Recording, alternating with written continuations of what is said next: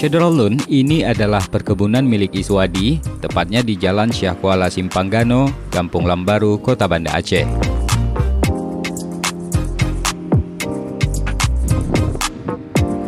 Di lahan seluas 600 meter lebih, ia membudidayakan sejumlah tanaman seperti anggur manis, pohon tin hingga pohon kurma.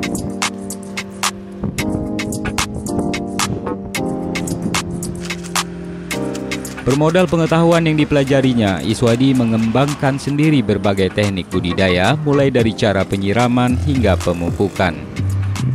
Hasilnya Syederalun, ragam tanaman itu kini telah berulang kali dipanen. Bahkan keberadaan kebun mini yang ia namai Syahkuala Nur Seseri ini juga menjadi daya tarik bagi masyarakat tak hanya untuk berkunjung, tapi ikut mengembangkan bibit darinya.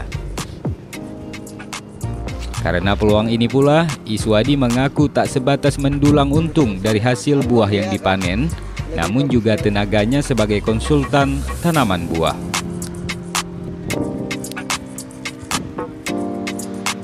Dari Banda Aceh, Muhammad Anhar, Serambi On TV.